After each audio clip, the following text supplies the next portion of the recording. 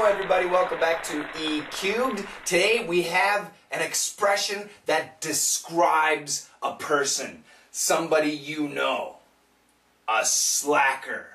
Oh, yes. What kind of a person is a slacker? You know the person. He never works. He's he's he's always talking, but he doesn't do anything. You have a group project, a team, and everybody's working hard except that one or maybe two guys, those guys. Those guys are slackers. He's a slacker.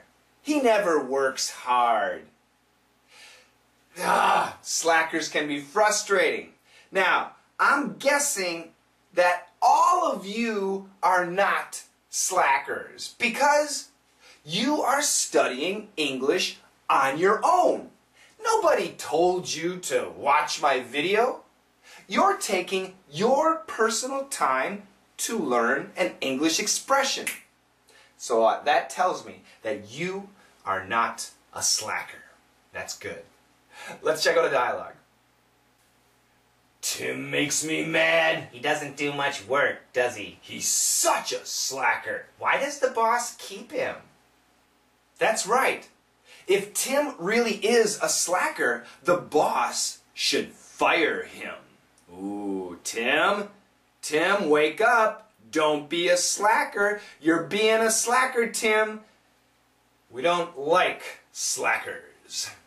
Okay, so that is a great word to describe somebody I'm sure you know.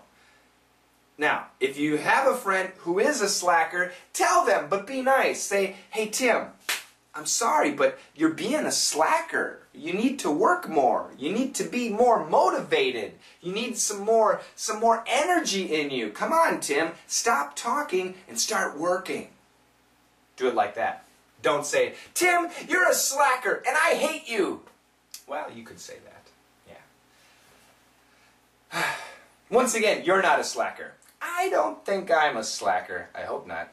Sometimes, sometimes, on Sundays and Mondays, a little bit. Anyway, that's it for today. I'll see you tomorrow. Bye-bye.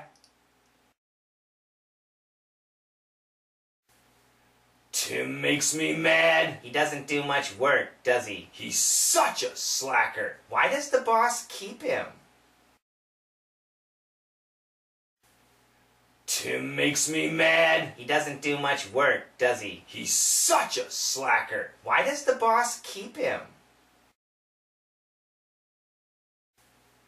Tim makes me mad. He doesn't do much work, does he? He's such a slacker. Why does the boss keep him?